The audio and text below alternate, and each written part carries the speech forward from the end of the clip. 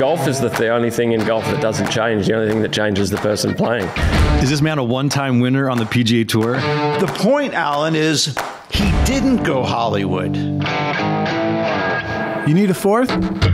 Well, Michael, uh, this is the the point in the program where we always tip our caps to our corporate sponsors, Ecco, who are the purveyors of very stylish and comfortable footwear that I know you're a fan of, as am I. Um, I feel like you have something you want to say here. Jump in, please. You know, I actually enjoy this part. Against all odds. But you don't want to ask me the question I've teed up for you? Oh yes, you you, you want to discuss laces? Am laces, right? shoelaces. Yes, I think yeah. part. Uh, thank you for reminding me. Um, I think part of a quality product, no matter what the product is, whether it's a Mercedes Benz or or an Ecco uh, golf shoe, um, attention to detail is always paid. Uh, our guest today, uh, Sean Foley, is from Orlando. Orlando is the longtime home of Arnold Palmer. I drop Arnold Palmer's name way too often, but also at every opportunity I can. And one of Arnold's things was before every tournament, put in a new pair of laces because you don't want to be like Saturday morning and the lace breaks. And like, oh, I got a lot of other things on my mind. I really don't want to be putting in new laces. So he put new laces every week. I think of that every time. By the way, every time I wear golf shoes, it's only Ecco shoes because those are the only shoes I own.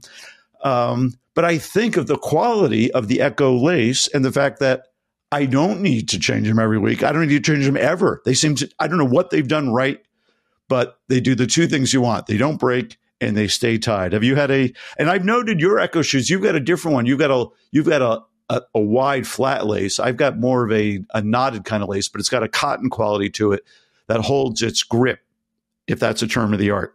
I'm inspired by the the care and the thought you've put into the laces, and um, I may not share it, but all I know is I put my Ecco shoes on, they work, they stick me to the ground during my incredibly fast swing speed, and they're comfy and they look good, and um, so thank you, Ecco. Back to Need a Fourth. Well, uh, Geoff, Michael, I'm very excited about our guest today. Uh, he is one of the preeminent swing coaches on the planet, has taken both a male and female player to world number one. Um, it's not Butch Harmon or David Leadbetter. Any any guesses?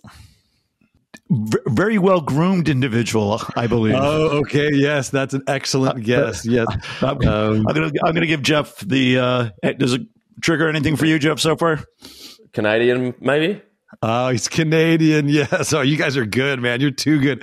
All right. Sean Foley, come on down. Show thyself. The unveil. Very well groomed indeed. Look at that. Right? I mean, I've been out on I've been out on the course there uh, since about eight a.m. So, and not I a hair out of place. It, it's I impressive. love what you've done with the place, Sean. Thank you. Where are you? I'm in Orlando, in uh, Windermere. Sean, have you ever seen the movie Oh Brother, Where Art Thou? Yes. With George Clooney, and you know the hair pomade is an important part of the plot. So, uh, do you use Dapper Dan as well? What's your product of choice? Uh, I'd, I'd, have to ask my wife what she gets me. I don't even remember the name of it. okay we basically do. We do. We, I'm almost halfway to a tour player, Geoff, now because uh, between my manager and my wife, uh, I actually don't ever have to make a decision or do anything myself. So it's good. Isn't it great?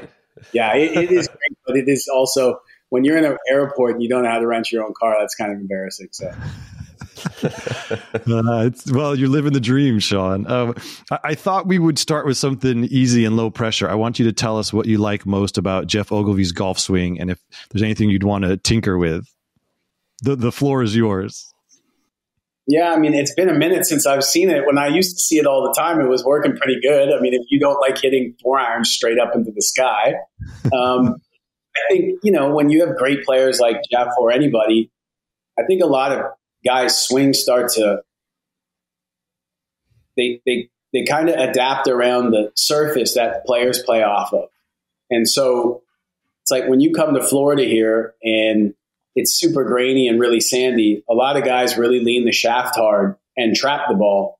But I think when you go to certain other parts, like a lot of guys from Australia are really good pickers. Now they still play in the wind, but I think a lot of the surfaces that you could grow up on at the good courses in Australia, it's going to be pretty firm and quick. So I think some of that changes it. But then also know Geoff, one of my original friends on the PGA Tour, uh, was Dale Lynch, who was Geoff's coach like forever and ever and ever. So, you know, he had, he, he had a lot of time in his backswing, released the club really nice, kind of emulated his pitching motion uh, around the green, and you know where he's known for one of the most famous pitch shots in the history of a major championship. But uh, yeah, I'm sure he hated his swing, but I, I, I liked his ball flight, and and that's really what it comes down to is that you know because we're human beings and in our DNA there's vanity based on tribal acceptance and stuff. We're more concerned sometimes about how something looks than how it works. And I definitely in the, in the past I fell victim to that as a coach, uh, rather than looking at how someone's hitting the ball. So I think you know, you listen to commentators say there's a thousand ways to swing a club. There really is not a thousand ways to swing a club. And I think what there's probably about three different types of profiles.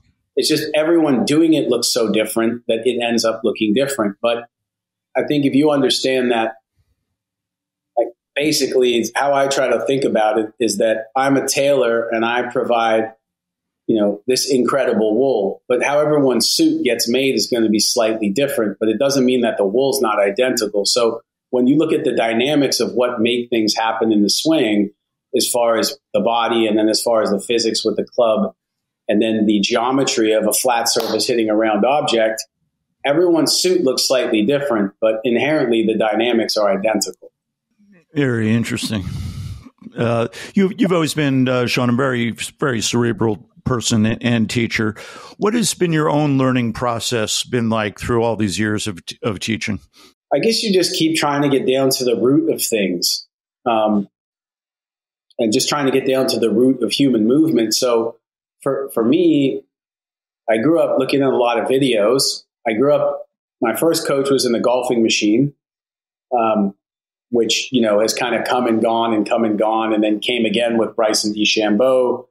Um, but really that was kind of the first book that had any kind of empirical understanding of golf. I was always taught golf's a game of feel, it's about rhythm, and it is about that. But you can't really tell a 20 handicap that that's the case because the reason that world class players have such good rhythm is because the force they're putting into the club and the force they're putting into the ground, they're just so congruent and they serenade one another so it looks like there's rhythm.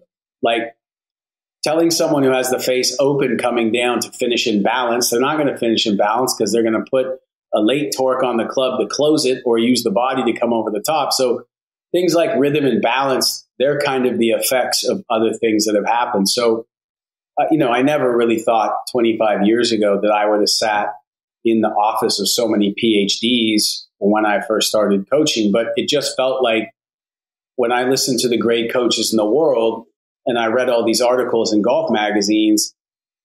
You know, some said get your elbow like this, and some said get your elbow like this, and some said, you know, make sure your grip's like this, or you can't play like this, and if your grip's like this, you won't be able to play. And then I used to work at the Canadian Open as a kid. Uh, I worked on the range, and so I would was so uh, I was so into it and was so observant that I started looking at a bunch of guys doing things that you weren't allowed to do and be incredibly successful at it.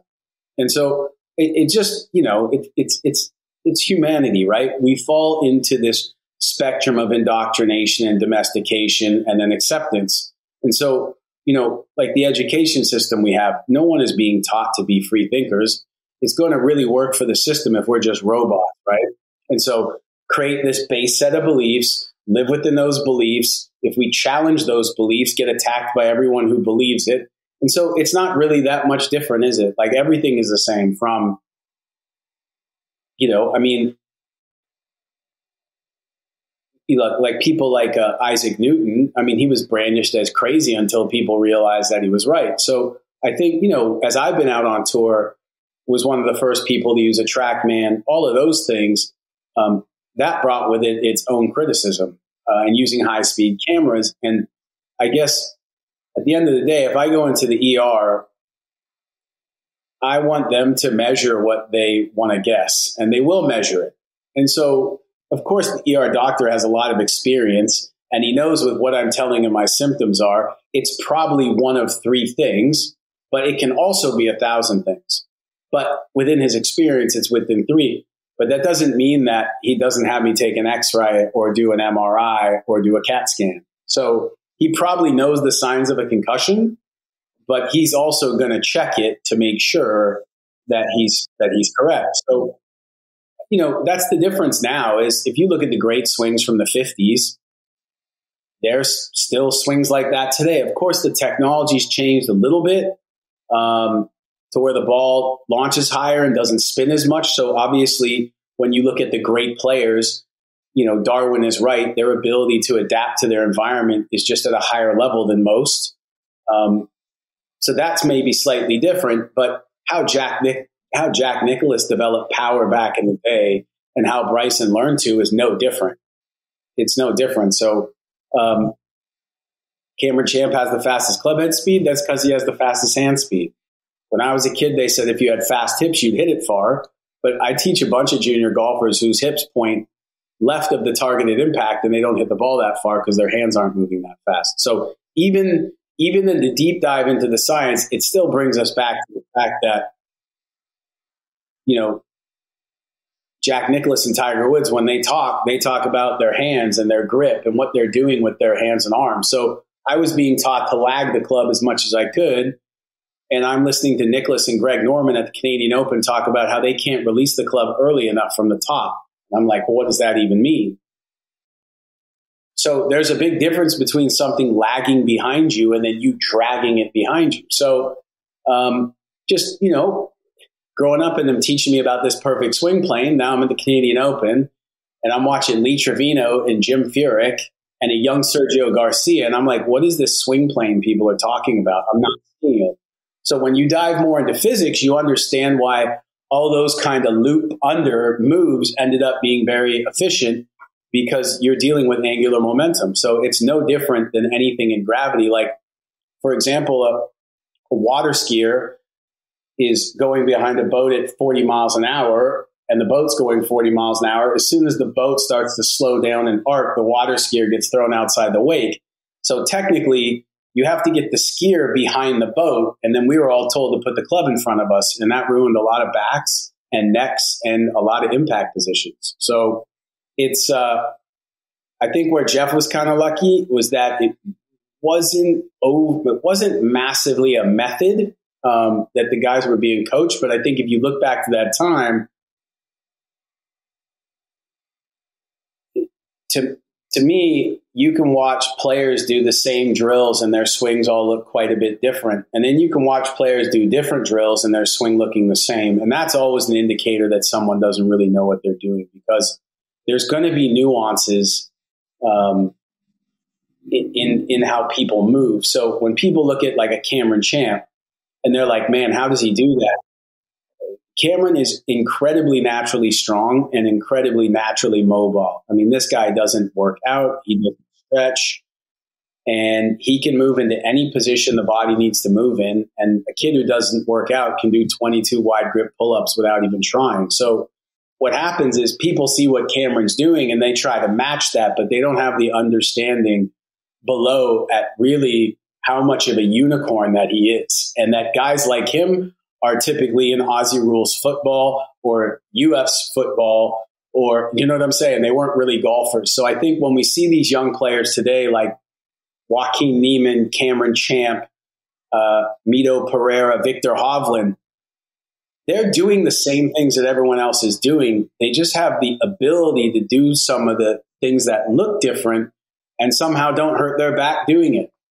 So if you look in, for example, in baseball, you'll you'll see how many how many pitchers in the draft are sidearm pitchers. Well, no one teaches people how to throw, uh, you know, sidearm. But a kid picks up the ball and just starts throwing sidearm. Well, in most cases, if you change him to doing this, he's probably going to be done, right? So it's it's unique that he generates a lot of energy from sidearm versus from here. The mechanics of this says that the ball will move faster and you'd have more accuracy. But like I think one of the greatest coaching testaments to coaching ever is Mike Furyk, like Jim Furyk's dad. He just let Jim keep swinging the way that he was swinging. And I think if you look at Jim kind of from rib cage to rib cage, I mean, that's what so many people are trying to emulate, right? Being able to bend and rotate and not have to use your hands as much. But I mean, Furyk just did an incredible job to block everyone out and keep doing Jim. So I think, I think my knowledge has grown so much, but in that, like I've never, I know more than I ever have, which leads me to believe that I don't really know a whole lot because I keep learning it. So if someone comes to me 20 years ago and they're hitting the ball well, but I kind of don't like something I'm seeing, I'm still domesticated in my methodology and my belief system. And so I try to make it look more like I think it should. Whereas now, if I have a young man or a young woman come to me and they hit the ball great and they have no injuries or anything lingering from it, um, there's so many things to teach them. Like most of these kids don't even understand the importance of breathing and its effect on the nervous system. So they're sitting with sports psychologists who are trying to get them to have better thinking where when they play their best, they're clear. So it's not really about better thinking, is it? It's about less thinking. And how can I get to a point where I wind that down? Well, if I learn to breathe properly, um, then I'm able to do that. So the difference is there's a change to the nervous system. So back in the day, for me, that would have been like a positive talk or have a better attitude on the course or have a better mindset. But whenever my attitude is good or my mindset is good, I've done nothing to ask for it. I'm just there. Like that's just where I'm at. So when I'm in a good mood, I can't put my finger on why I'm in a good mood. People will say, well, your players are playing good. You got a great wife and you got great kids and you've been successful. Well, all that shit's true on my worst day. So life is an inside job. It can't come from outside of me. So trying to get these kids now to understand like the answers are already inside of you. It's my job to ask the right questions. And if, if the kid is as hungry and obsessed, they will come to it. They'll, they'll, they'll sort it out. But I think the environment has a huge aspect on how people learn to swing the golf club if they're passionate and curious. And then the next step of success is obviously sacrifice. Well, this was the Need a Fourth podcast. Thank you for listening, and uh, thanks to Sean Foley. I'm just kidding. We're going to keep going, but uh, that was that was an amazing answer. Uh, that you touched on so many things. Um, but you know, it, obviously, your your your time as a kid, as a fan at the Canadian Open was was monumental in, in your in your journey. And I, I don't know if this is apocryphal or if this is true, but you're at the range at the Canadian Open as a kid, and you're watching David Leadbetter work with Nick Faldo, and as the story goes, that's when you decide you want to be a swing coach. And um, is there a, kernel of truth in that tale? Yeah, I mean, I think I, I don't think I said right then like I'm going to go and work with a bunch of psychopaths for the rest of my life. but it, it was uh, um, it was just really cool to see. And then you know, my first coach was Greg McHatton, who's like at the hierarchy of the golf machine. And then my, I was really lucky that my dad was really careful on who he put me around as men because he understood like 13 or 14 boys kind of tend to stop listening to their dad. But if you can find like minded other guys, like, for example, my son's personal trainer that he works out with, I mean, if I call him and say, Hey, can you talk to him about listening to his mom and being organized? I mean, Quinn's all over it, right? Because this guy's a god to him. And so my dad just put me around excellent mentors. So I went from the golfing machine to Shaughnessy in Vancouver, where Jack McLaughlin was the was the head pro, and Jack McLaughlin was kind of the Western, you know, at the the goat of the of the Canadian PGA on the West, and he worked with quite a few tour players: Dick Zokol, Lorie Kane, Brent Franklin. That's a name from the past. Geoff, he's a little older than us, um, and Ray Stewart. And so I used to sit on a wire basket, but what he would do is he'd have guys like take their shoes off and hit, you know, 206 irons out of a fairway bunker. So I went from angles and planes and all this to now watching someone create like a completely different experience and realize that it was really about both. And then when we moved back to Toronto the next year, uh, my dad got me a job fixing divots at the National Golf Club in Woodbridge, which is like probably the hardest, best golf course in Canada. And so Ben was the first Canadian to be a first team All American in college in New Mexico State, was sponsored onto the PGA Tour by Lee Trevino, uh, and then became a disciple and best friend of George Knudson. And Knudson's like the Hogan of Canada, right? The only difference is he had like a bit of a sling draw and Hogan didn't draw it as much. um, but he didn't even cut it that much either. So uh, I just was around these guys who had these jobs that looked fantastic. They looked a lot happier than the people who lived in my neighborhood. Um, you know, they were revered and respected. They got to spend the whole day at a golf course, work with all these great players. So really from the time I'm like probably 14 until I go to college at 19, my, you know, six months of my year is spent on a range with tour players, either practicing or watching them practice. So it's like, it's a species that I understand very, very well. Um, and they were like gods to me. And so I kind of, I saw what to do, what not to do. You know, I mean, that was the first time as a kid is seeing a guy playing his best golf change his equipment and then him playing like shit and going, why did he do that? But, um, you know, there's some really good books out there on self sabotage, but I'm not really academically at the point to where I can explain it yet, but it's a real thing. Alan, can I pose a question to Geoff that will, uh, of course, that, that, I know Sean will be interested in as well. Geoff, when when you got on tour, and there's a lot of swing coaches out there, how did you know who you might fit up, who you might match with in a in a good way, and how did that process work for you? Well, I mean, I was fortunate, as Sean said. I mean, I had Dale from fifteen or sixteen. Um, so I was never really looking. Um, I was a bit, I'm a bit like probably a lot of people, Sean, coaches. Um, we're all quite stubborn, I think. And I knew all the answers, you know, so I kind of, Lynchy was there to confirm my beliefs, if you like, in my did, head at least. Did he know that? Oh, yeah.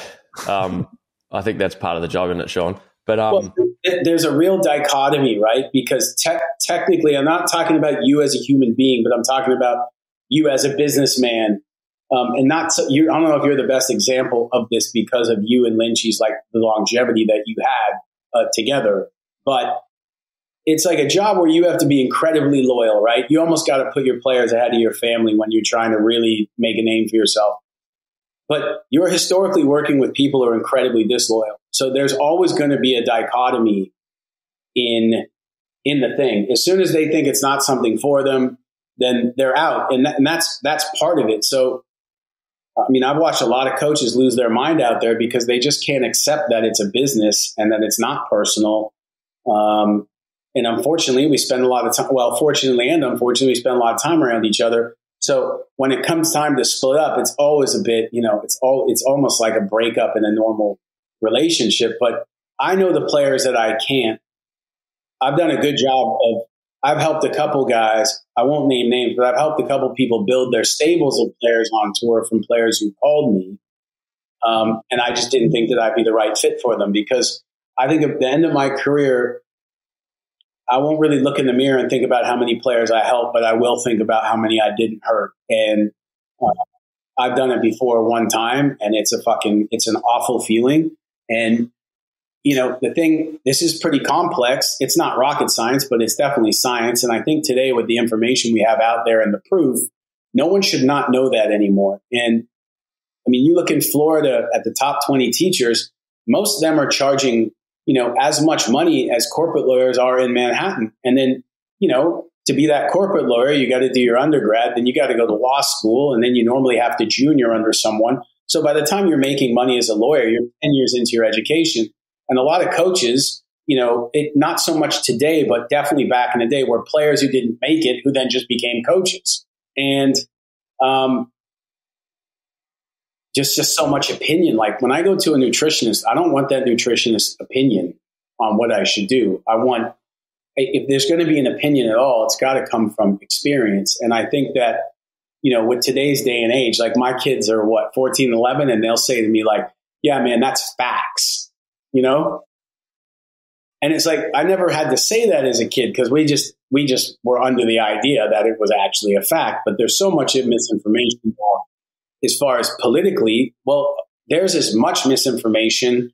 So, you know, Instagram and social media is like Gutenberg on steroids, right? I mean, this is the printing press to the full extent. So, um, there's a lot of good stuff, but then there's a lot of then there's a lot of garbage, and you know, it's just amazing to see the careers and success that people can have when they don't really understand one, how humans communicate, two, just the processes of the brain, three, the physics of the club, four, the kinetics and physiology of the body, five, what the ball does in the air and based on wind and temperature. Like I work with guys now and I'll say, all right, so it's going to be 52 degrees when you play. Do you know how far these are? And they don't know that. And it's like, that's so easily measured. And I just think that, sure, there's guys like Geoff and Tiger who are at the highest level. They had the, they picked up these subconscious nuances in certain things, but not everyone's going to find that that way, right? Like,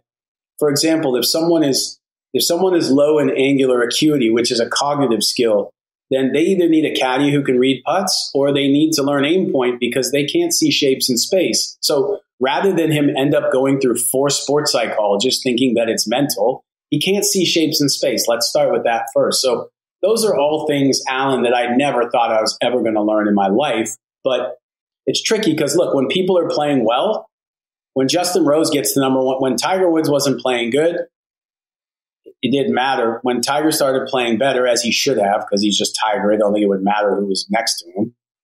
Then all of a sudden, my inbox and emails are blowing up. Rosie gets the number one. I say no to like 10 people in the next month.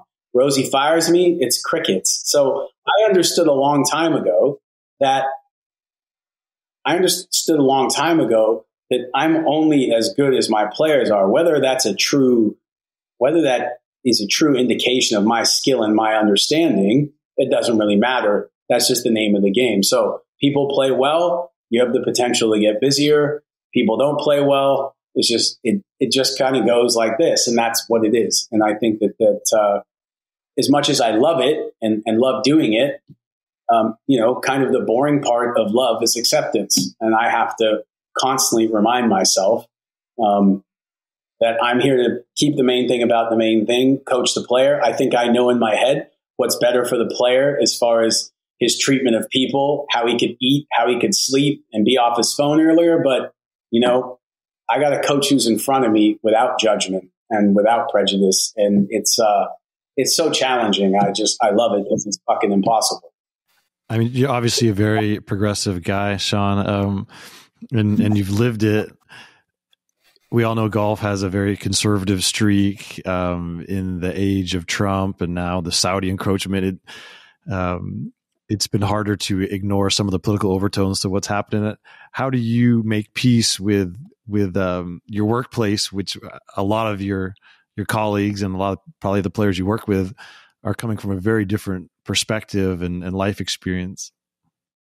Yeah, well, I think it's like if you look at understanding say it's an equation, right? So knowledge plus wisdom equals understanding. So I think if everyone had had my experience, they would probably see things. So that that reminds me of that. Like to point fingers and say you're you're wrong and you're wrong and you're wrong. That's not doing anything to bring us closer to one another, right? So it's like, for example, the drive to survive about the Formula One, right? I'd never seen a Formula One race in my life, didn't even care to.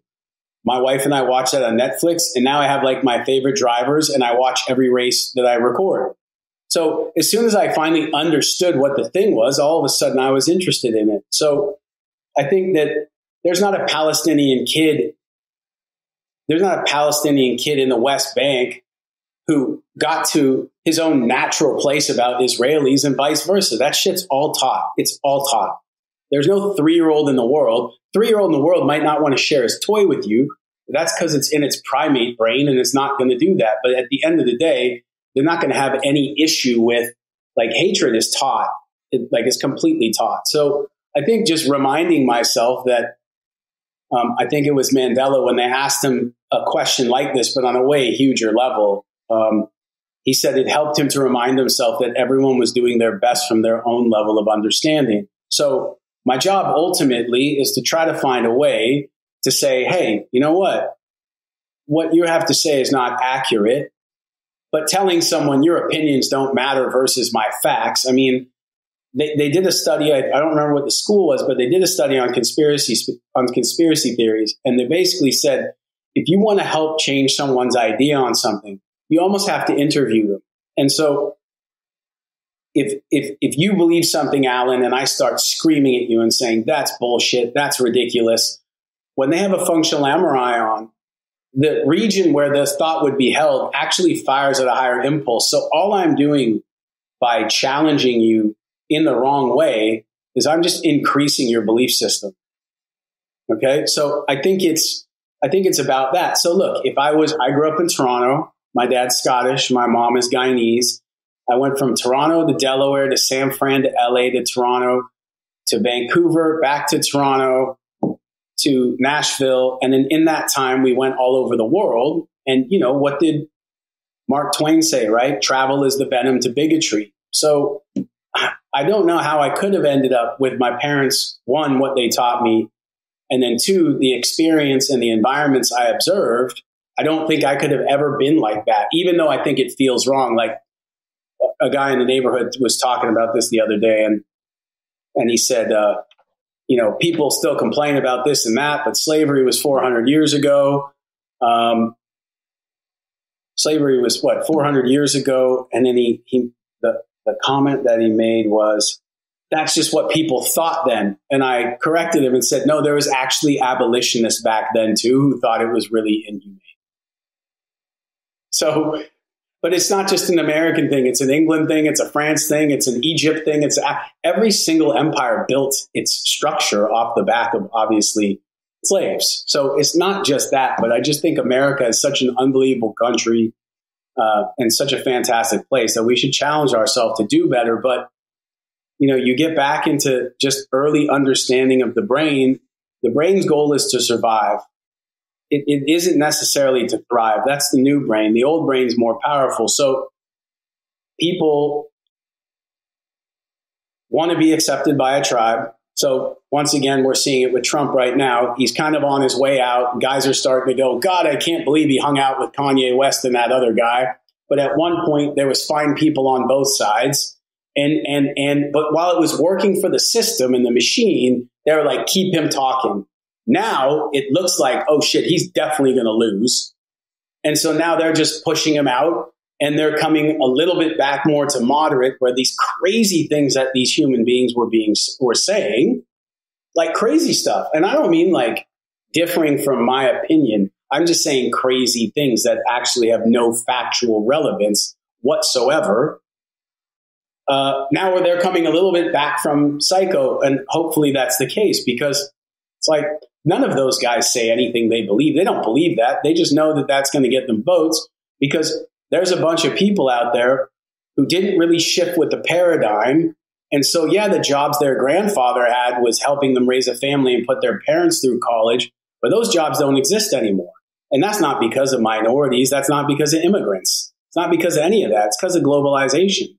So it's I try to just educate people as I can, but just have love for everybody because everyone is just kind of a product of their environment, a product of the books they've read, and a product of their experiences. So I don't think anyone wants to feel like that. It doesn't feel good to have animosity towards someone else. I don't even think it's really that natural. So, you know, just trying to, you know, you got to put your arm around people and, and, and try and try and help them to see it. But I just have to be an example of, of, of of what it is that I believe, and and that's enough. I'm not overly concerned about what other people are thinking about because, I mean, I used to watch Peter Jennings as a kid with my dad, and Peter Jennings was reporting the news, and now Anderson Cooper and Tucker Carlson are creating the news, and it's like. If any, if I want to listen to anyone create the news, it's going to be someone like Thomas Friedman. It's not going to be not going to be these guys. These guys aren't impressive um, whatsoever. So I'm stuck in the middle where I'm into the truth. So if someone says, you know, on the right, say this, and I'm like, yeah, that's true. I'm for that. If someone on the left says something that's true, then I'm for that. Then I'm looking for the truth. I'm not really looking to be a part of a team or a part of a side, but we need to understand like so much of our brain complements that and being accepted due to survival because if we were kicked out of the tribe a long time ago, we are probably going to go extinct. That part of our brain is still incredibly powerful. Um, sure, we have, you know, we have phones, we have technological advancements, but emotionally, we're not any further ahead than we were when we were cavemen. I think that's pretty obvious. If you look at Ukraine, you just look at everything. It's we, we haven't really evolved um, our emotional intelligence uh, whatsoever. But do they have podcasts back in the caveman days? I think not. We've come, we've made a few strides. Yeah, well, this has given us an ability to like share this with someone. And then there's a podcast probably happening in my neighborhood right now, and everyone's part of QAnon. And uh, yeah, and, and that's podcast too. Good point. May, may I note the uh, extreme beauty? Oh, it just disappeared. Did you all note the Geoff can't see it, but behind him, above his guitar, Geoff, is it possible that there would be a palm tree that would create shade that would be on the on the back wall of your right over your guitar a little while ago? That is a blind. Uh, there would be. It's not a palm tree. We don't have palm trees in Australia. They're not indigenous to Australia. It's some sort of eucalyptus, I think, blowing around in the wind. It's very windy in Melbourne at the moment. Oh, very neat. Well, that's good because you need to dry out those golf courses, don't you? but this is actually this chat's very like when you meet Sean in the locker room on tour this is where you end up when you're having your coffee in the morning. You start talking about, how you're hitting it, Geoff. this is where we end. This is where, where, we, end up. Yeah. Okay. This is. Hey, you're hitting it, Geoff. No, no, no. We end up with, uh, we end up in a direction like that. But yeah, it's always fascinating. The best part, I think, if we get back to golf a little bit, there's swing teachers and there's coaches. And I think in the last 30 minutes, we've worked out that Sean is a coach. Um, he fell probably fell in love with the golf swing and like obsesses about the golf swing, but he's more about making people better golfers and better people. Um, and I think that the elite coaches that get to the top, the ones you see wandering around in the range on tour, are the coaches, not the swing teachers. The swing teachers. I mean, Instagram is full of swing teachers, like you mentioned. There's not a lot of coaches, you know, um, and yeah, I mean, I think not to undermine all the swing talk. I think swing talk is amazing, but I feel like if I swung it like Cameron Champ, I would have won about 20 majors. You know what I mean? There's so much more to it than how you hit the ball and how easy it is for you to hit the ball. I mean, it's it's about playing the game and understand, like Sean said about how far the ball goes when it's 52 degrees. I don't know how far it goes when it's 52 degrees, but I know when I'm standing there and I feel it, my wedge is going to go 129 today. It's not going to go 135 because it's a bit cooler this morning. You know, these are just and there's an infinite number of those things in golf um, that just come along as you play and experience if your eyes are open. And I think uh, Sean's one of those coaches who gets his players' eyes open to all those little things and how they learn to become better players. They might move the club better and Brandel and all that will break it down on the golf channel and say, well, he's shallowing his path a bit more. And geez, doesn't he use the ground well? And is he hitting the ball better now that he's working with Sean? But that's probably not why he's really scoring better. He's scoring better because he's viewing golf in a more sort of holistic way. And um, well, that's the one thing like you and I will know because we know a lot of the people in the game and you know, you will listen to commentators or the guys after, and I know they're just doing their job. That's what their job is. Um, is like a guy will be struggling and they'll be ripping a swing, but you and I both know that his dad's just been diagnosed with leukemia, or this guy's going through a divorce, or or or or, and so that's just the that's just the human element. I mean, I get the thing is the last few years from Danny Willett to Lydia Ko, kind of started with Tiger, uh, Michael Kim, who's back on tour now these were people were all number like Michael Kim was number one ranked amateur in the world and made 15 of his last 95 PGA Tour cuts. So because I've been at it for a long time, and then what I've been learning about the brain for the last two years, I've studied everything I can on it. It's really like most of it I can't even understand the words, but Michael Kim was number one amateur in the world, and he was kind of flat in his backswing, swung out to the right, flipped it. The word flip he flipped it and hit more fairways and more greens than anyone in college. Then got on tour and was convinced, like, to be a great player, he needed to be able to hit a fade. And that was pretty much game over right there. Um, and I think someone like a DJ who came out with a sizable push draw, like really slung it, he took around 15 years to become a, like a good fader of the golf ball. And he took his time with it and took his time with it and took his time with it. Um, Tiger when we worked, we had a little bit of a fade. And some days he would wake up and he just couldn't fade it. So he would play with what he had and come back and work on it after. Whereas so many guys are still trying to fix it on the first five holes. Then they're three over through five, and then they go, oh shit, and they panic. And then they just get back into survivor mode and shoot like even par. I mean, you're in survivor mode off the first tee. So it's, I think that's the, the, the tricky part is like when I saw Hunter Mahan for the first time, I'd never seen anybody get as opened up as he was and right side bend to the ground so much. But then I watched him hit it and I was like, wow, that's incredible. I mean, Geoff, remember those years where that guy didn't miss? He was the most incredible driver of a golf ball I've ever seen. Now, what we noticed is for his wedge play, and when he was in the rough, that didn't really work as well. So when he got in the rough, we didn't like change his whole swing to make him better in the rough.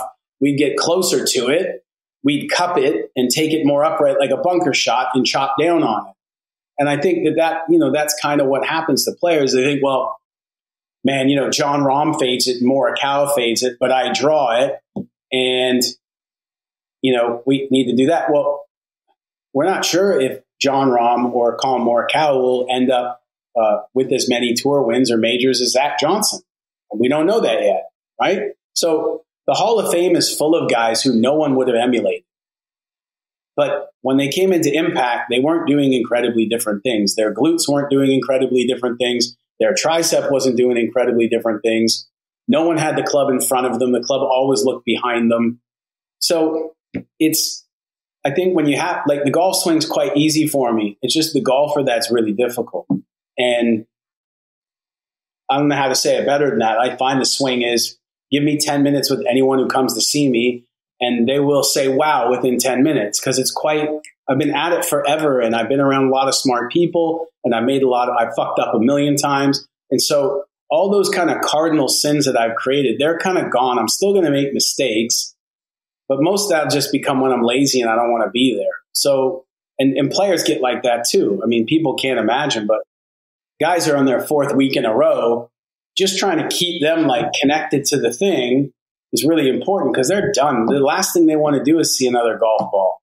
And my buddies that I play men's game with could never understand how you're fortunate enough to have a career like being on the PGA Tour and you wouldn't want to play, but that's because they don't get it yet. They, they would if they played four weeks in a row on three different continents.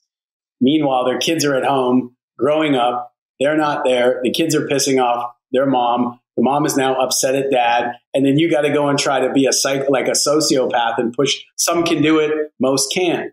And so to me, I think when you see a guy doing really, really well, and then you look at all the things around him, there's this beautiful kind of coherence where everything fits into place.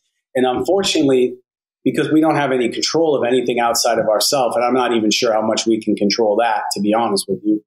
Um, you know, there's a lot of moving parts to success, and many of them we have no real control of. So it's kind of this, this kind of like this beautiful symphony of working smart and trusting the people you're around with, and just punching the clock and then clocking out, and then just waiting, and then just waiting, right?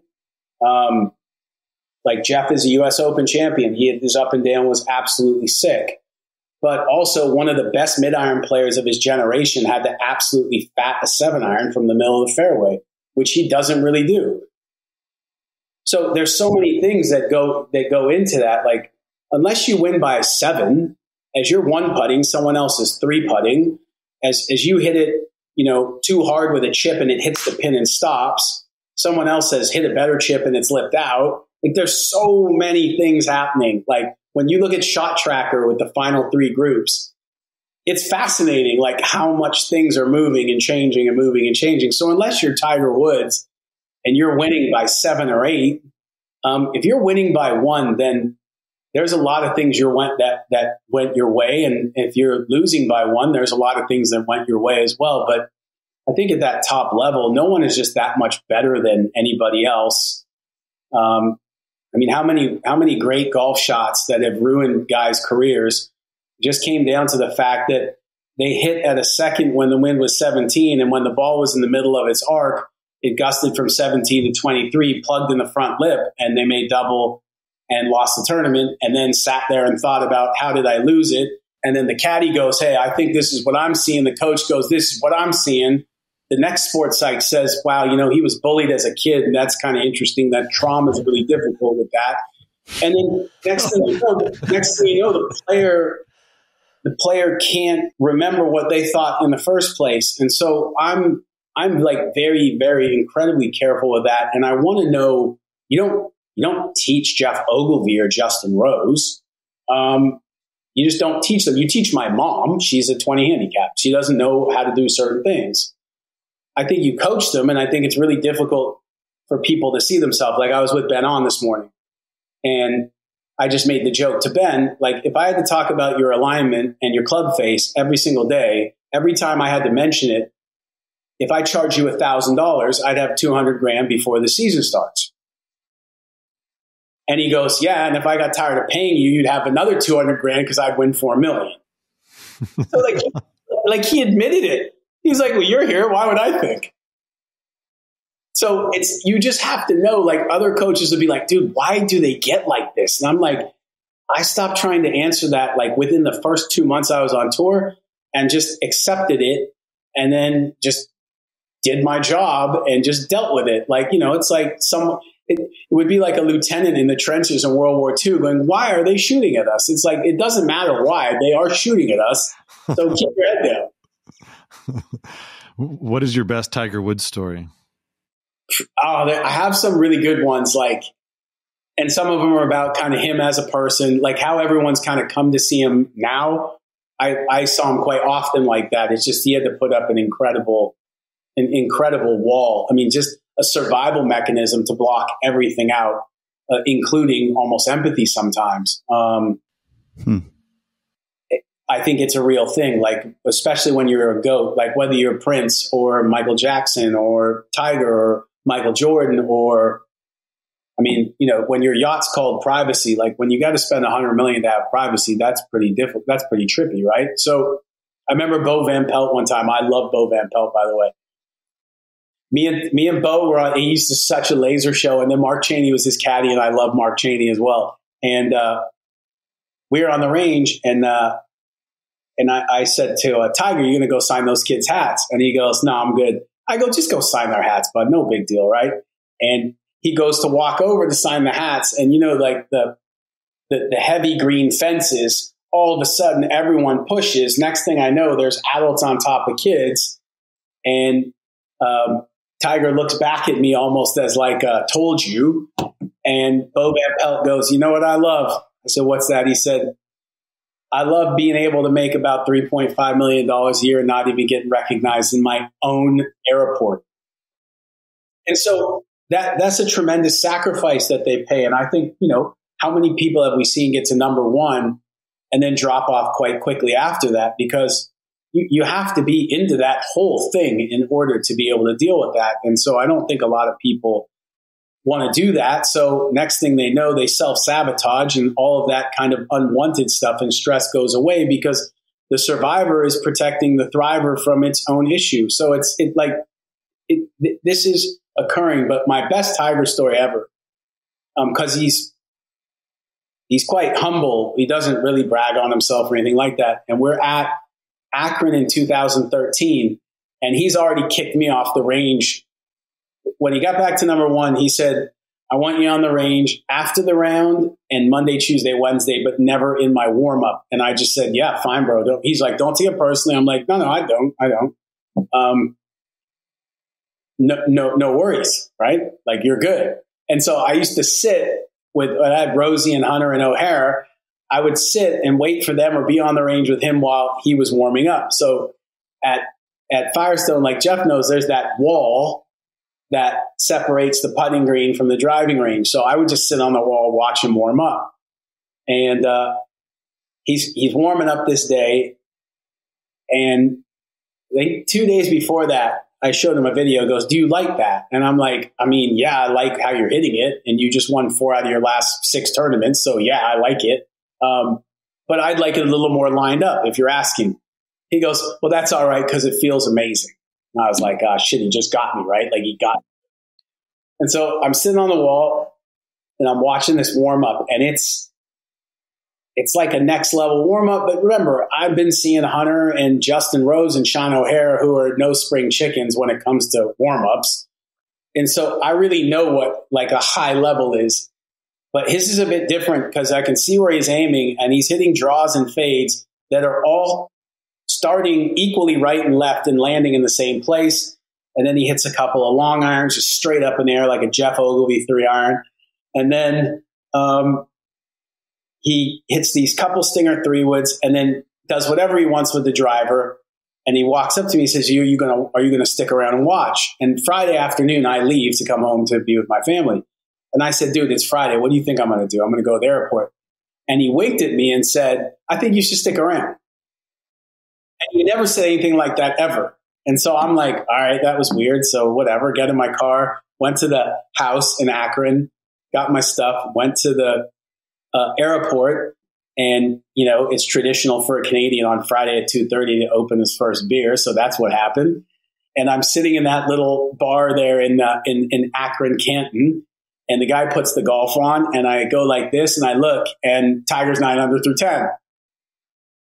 And so he knew teeing off that he was going to be an absolute, it was going to be an absolute clinic and then wanted me to stick around to watch it. But being five foot six, I couldn't see a single shot anyways. If you're going to coach Tiger, you got to be about seven feet. Uh, Chris Como had the same problem. He's like, how do you see? I go, you don't, you can't. But they show every shot on television. So just go video. I'd be in the locker room filming filming the screen. And it's funny because I've yet to take a video of one of my players in contention on my phone that looks like the swing they had just leaving to go to the golf course. There's already there's always these slightly different uh, little nuances to it, but uh, that that's probably for me is like my coolest Tiger story is just not many people can say, "Hey, today I'm going to shoot 59." Um, I think most of the time when guys do, they're thinking of withdrawing because they're hitting it so shit on the range. So they kind of quit, call their agent on the way to the tee and say, is there a NetJets flight, you know, tonight? Next thing you know, they're 10 under through 11.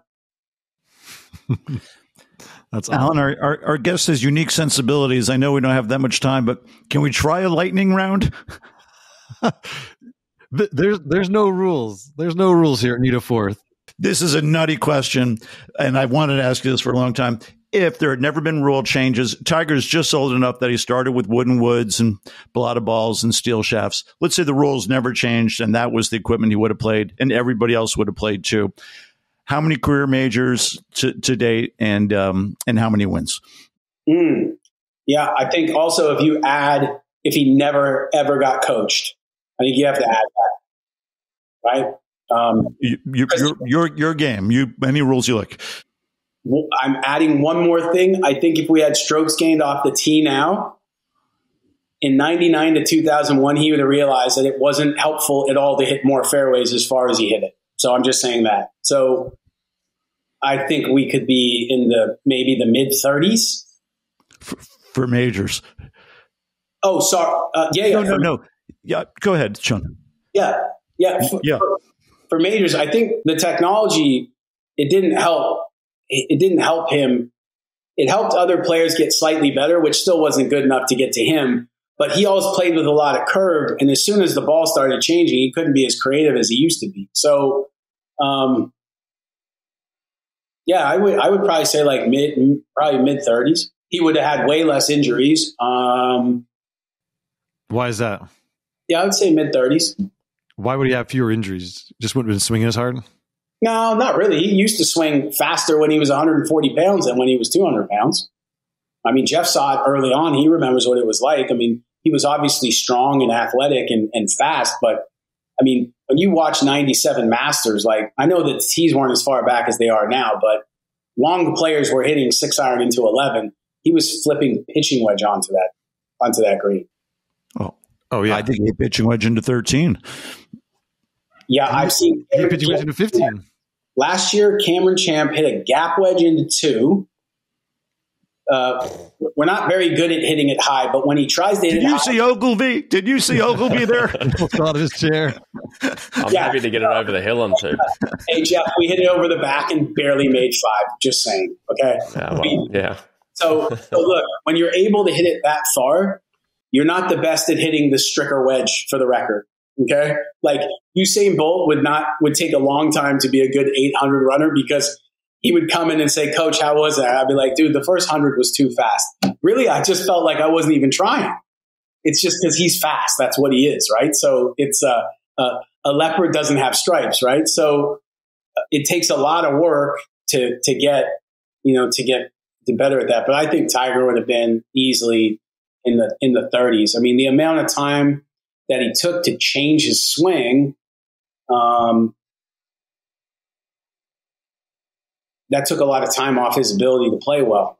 No, Alan, please pardon me, but Sean, if you just follow up there, does it ever come up in his conversation? Does he ever say, "Man, if they'd never changed the equipment, look what I could have done"? I know he's humble by nature, but does it ever come up?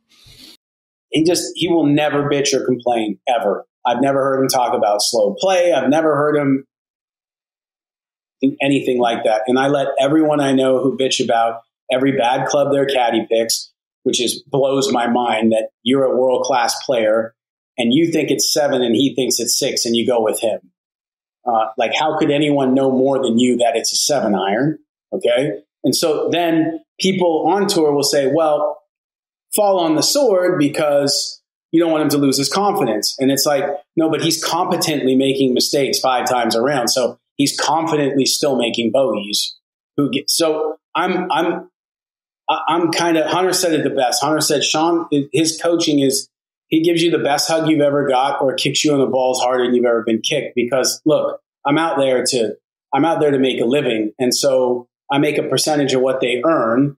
And so when I see them have two bad putting weeks and change the putter they've been using for two years, they're going to get murdered on that one because I've seen that before. So when I've never heard Tiger ever yell the caddy, I've never heard him ever complain about anything, nothing. And then he is literally the GOAT because he took more ownership and responsibility than anyone who's ever played. And then Jack Nicklaus is a very close second because I kind of interviewed Jack over lunch at Memorial. And he was the one who brought up the idea when I was like, what did you want from a caddy?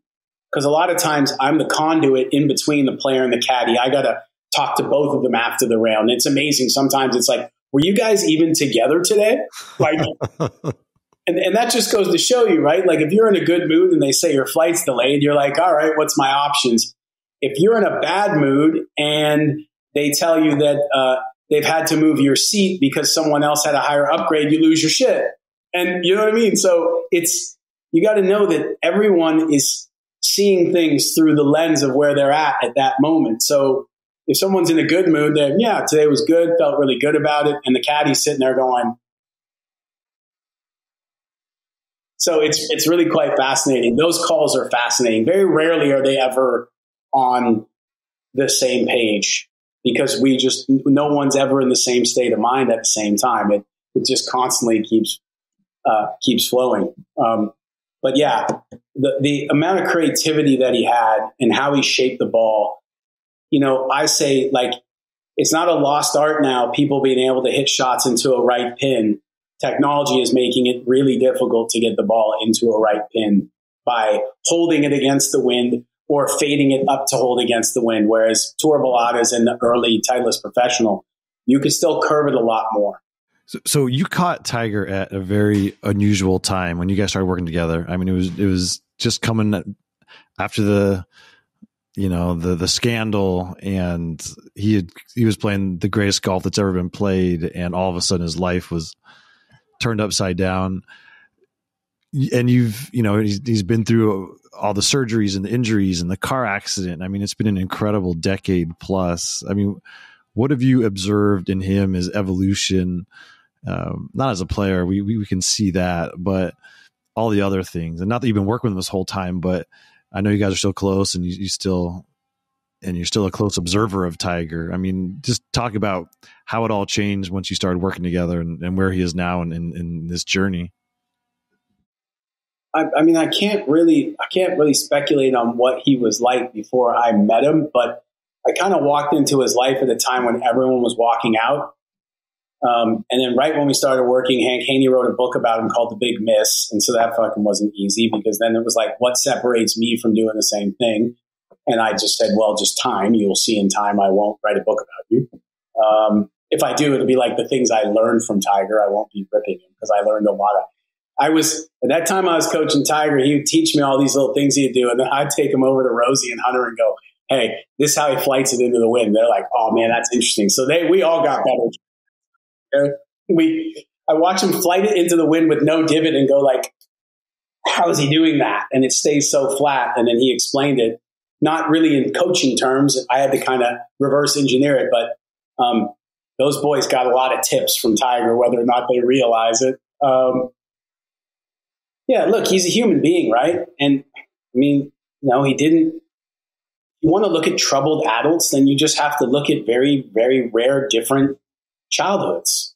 And, you know, we, I, I think that the way Tiger grew up, and it was just golf, golf, golf. And I don't even really think that it was really that much a function of Earl or I think his mom told me that he had to finish his homework before he went to the golf course. So he would do his homework during lunch, which made him look antisocial, but he just wanted to be at the golf course. He's not antisocial. Um, you know, having 30,000 people on each hole and probably learning how to be able to get into a bubble and not really focus on anything else. You might look like you're not warm or you're being rude, but I think the people are being rude are the people who wants him to match what they think a good person does. So that's the difference with him and Phil, obviously, right? And as we we learn about Phil, it's not it's not it's not completely that genuine. My experiences with Phil over 16 years, uh, he's blown me away with what he's remembered about my family and things like that. So I think Phil is is, is in that way. In my own experience, I don't think that he's a phony, but I also know about all the other stuff too. So, I mean, at the end of the day, people are running a business and they're building a brand, and brand is based on image, and image comes from uh, uh, the Greek word, I think it's image, which means imagine, which is also a synonym for illusion. So most people's image is just an illusion, anyways, right? It's what they're perpetuating for you to see. But we don't really get to sit and have dinner with people and watch how they treat their kids or how they treat strangers or how they react to a homeless person. So I think on a PGA tour, because it's such a five minute relationship, like Geoff was saying, hey, how you doing, mate? Boom, boom, boom, boom, boom. It's a five minute talk. So I think as time goes on, like all these relationships are so honeymoon based that everything seems pretty kosher and everything's cool. But once you spend way more time around someone, you start realizing, oh, okay, I didn't need, I didn't see that before. So I just think Tiger's a human being who's had a, a, a fantastic but a very difficult life, and uh, he succumbed to stardom and fame like every other star who's that famous did. Like they all went, they all ended up kind of in the same place, right? Um, is there? I don't know about Messi, but is there even a goat who's still married? to their original. Federer. Fed. Jack. Jack. Yeah. Right. So, and I'm not sure if that's really a idea of being a goat, but you know, guys get obsessed about this thing, and it's not like that they're they just don't see it. They can't even they don't even understand that it's there. It's just they're so focused all the time on this, um, and that's the love of their life. And I think that that I think that that's okay. But when we judge them against a value based, monogamy based society, it's like we pigeonhole people like this is how you should live. That's how I should live to live my life in a way that I can look myself in the mirror and I can go to sleep. And, you know, if you ask me what success was 20 years ago, it would be, you know, big checks and major championships. And now it's kind of come down to like when my head hits the pillow, I fall asleep quick and then I wake up excited about going about my day. That to me is now success because I've done all that other stuff and that really wasn't where I felt my best. But I feel my best when I'm inspiring people or when I'm reading or when I'm learning.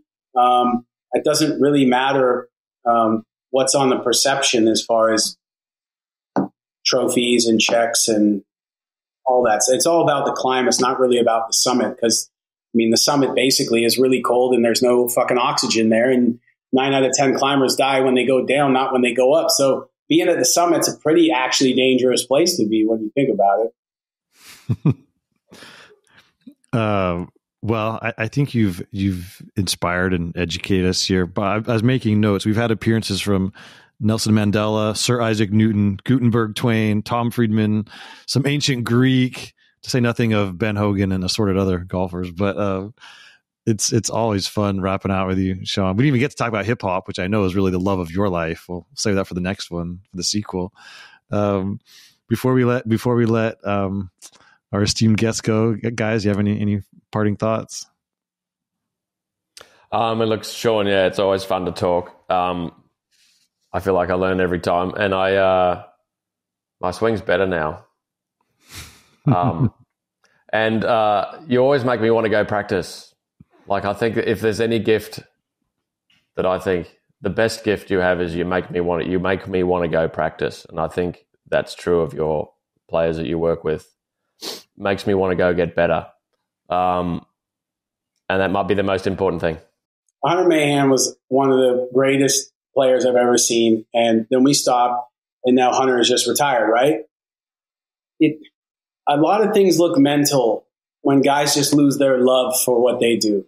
And, you know, love for the game of golf is so necessary, just like love for your kids is so necessary because half the time, if you didn't love your kids, you probably put a pillow over their head because, you know, they're not appreciative. You do all this for them. They don't.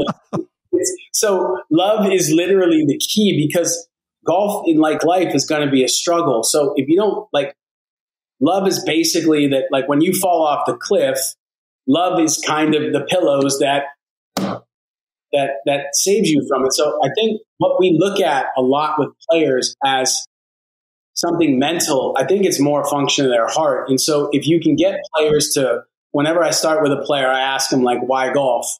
Like, why do you play golf? And it's like half the time they're trying to say something they think I want to hear, but a lot of time they actually don't know. And so that's one of my first major tasks is to get them to kind of re-recognize why they play because most of us, well, all of us, we paid to play as kids and we loved it. And then we got paid to do it and we ended up fucking being miserable from it.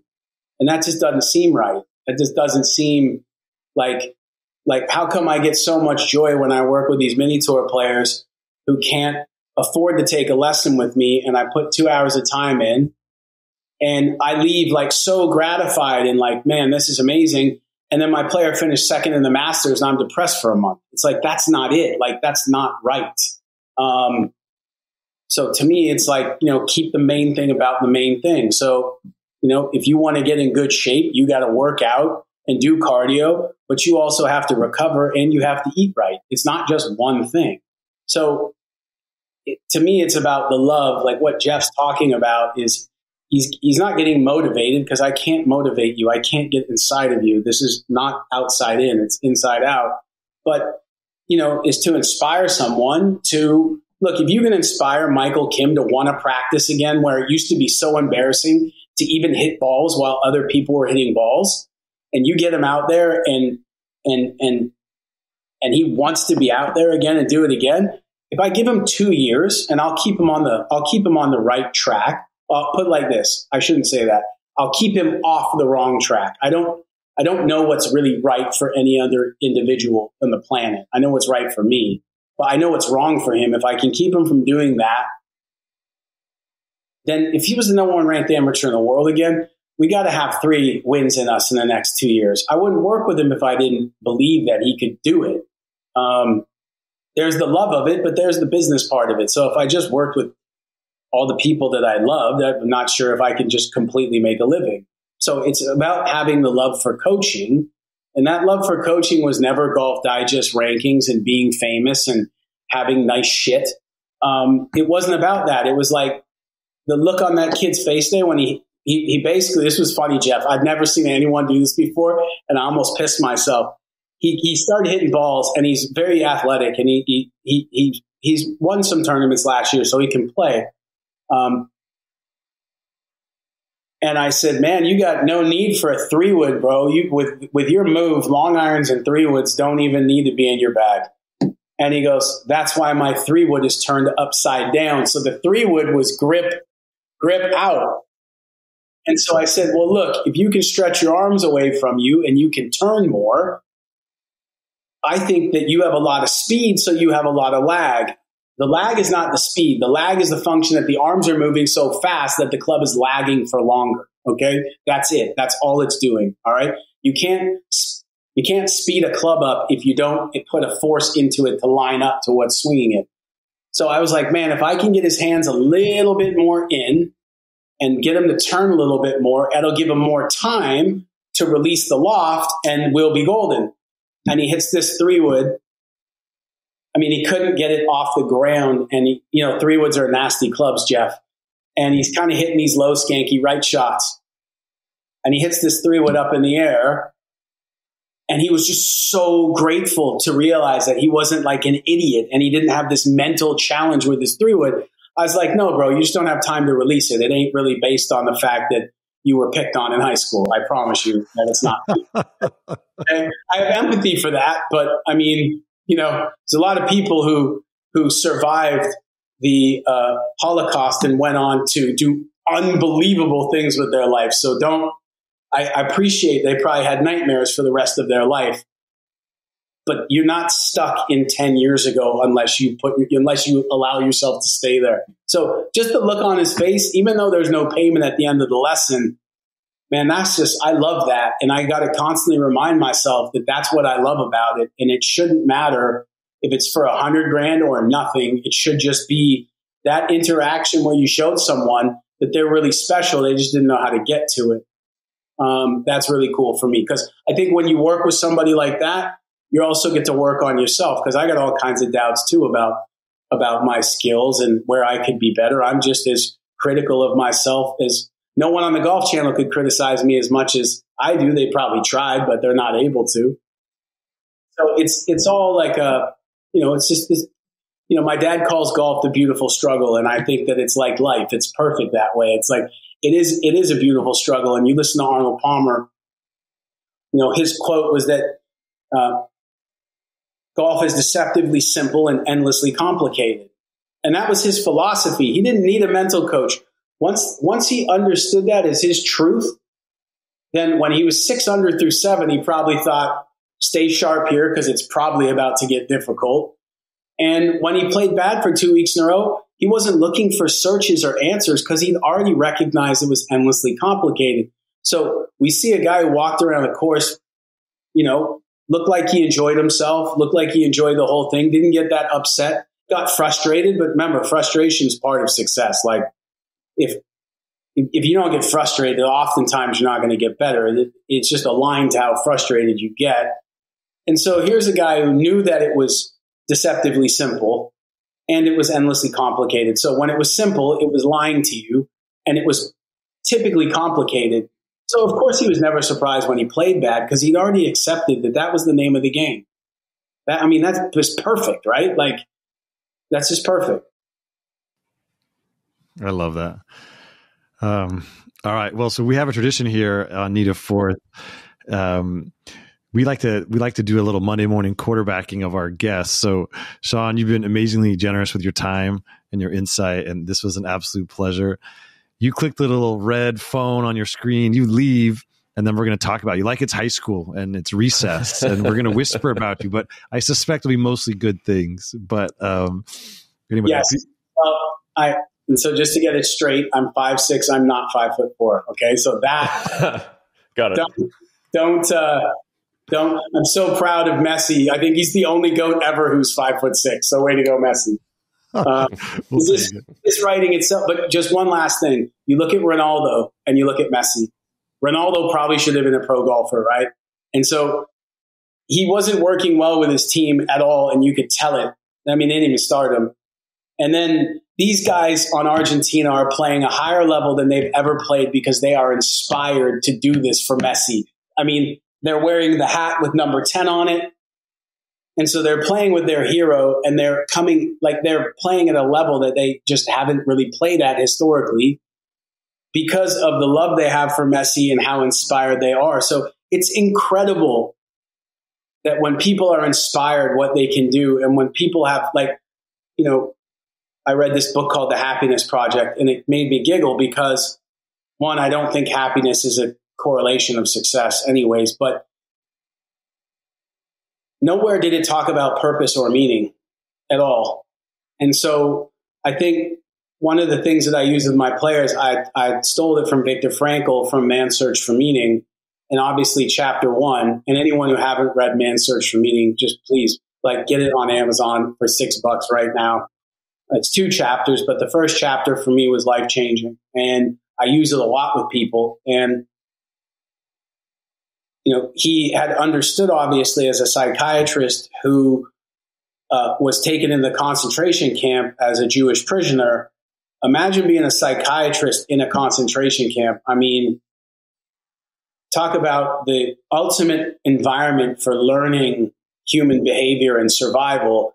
And he talks in the book about, you know, so many of the prisoners who should have been dead like a year ago, but what kept them alive was just the image of their wife and their kids. And so they had typhus they had all these things. They worked through negative 20 days with no shoes on, just incredible torment and suffering.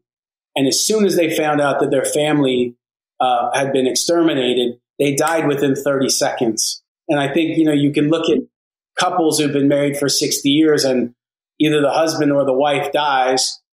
And within a month, the other one who was completely healthy is dead too. And I think that that speaks to purpose and meaning. So if you can have a purpose that's that big and normally for human beings it's not ourselves it's something it's something else um, i think if you live a purpose driven existence then that's kind of you know when you're on the high seas and there's a massive storm you got two things you got a light to let you know you're going the right direction and if it gets really bad you have an anchor and regardless of how the boat feels like it's going as long as it's anchored in, it's not going to turn over. And then we all have to know that that storm isn't going to last for two weeks. At worst, it's going to be four or five days. So I think having purpose and meaning and then having love for what you do, it's what allows you to keep going when things get so hard. Because when things get going easy, you don't really need, I mean, I haven't learned anything on vacation ever in my whole life. Um, but it's, you know, when my players are going through it, it's trying to get them to understand like this thing that you're trying, like this adversity you're going through is literally giving you a PhD if you're willing to accept it and understand it. It's teaching you that you don't understand something. So stop changing drivers, stop changing wedges, stop changing putters, stop changing caddies.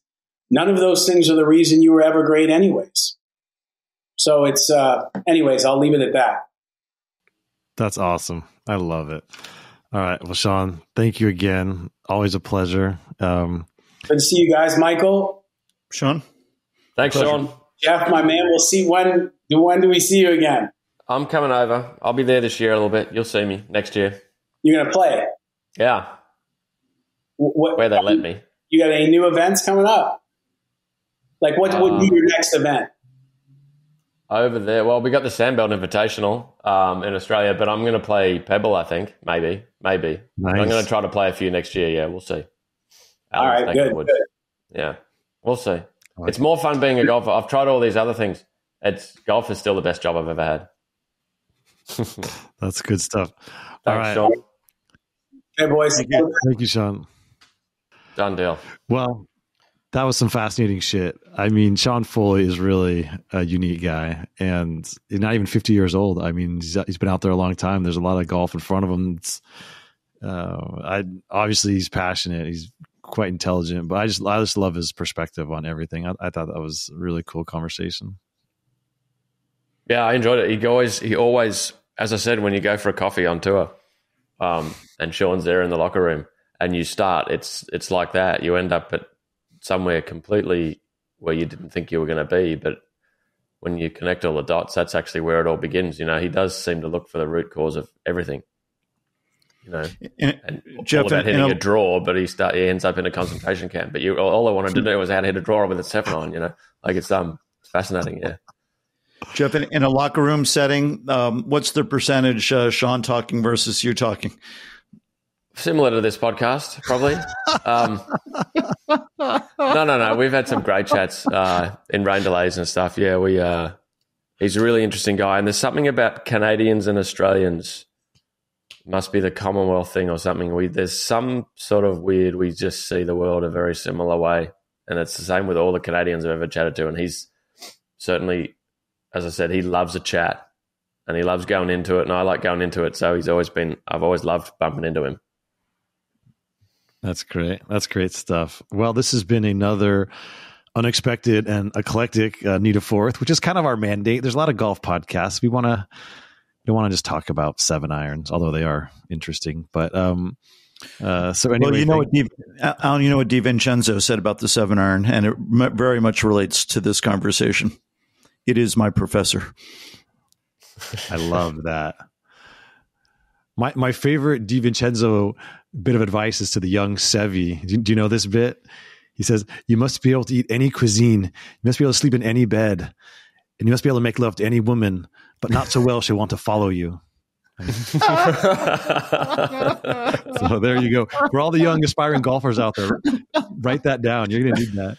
Um, anyway, all right. This is Need a Fourth. We will be back at it again. Uh, we have some great guests who we've already taped them. We have others we're we're trying to lasso, but uh, this is this is an ongoing project we're having a lot of fun with hopefully you are too listening at home uh, or in your car or in the gym. So for uh, Geoff Ogilvy and Michael Bamberger, I'm Alan Shipnuck. Thank you for listening, and we'll do it again soon.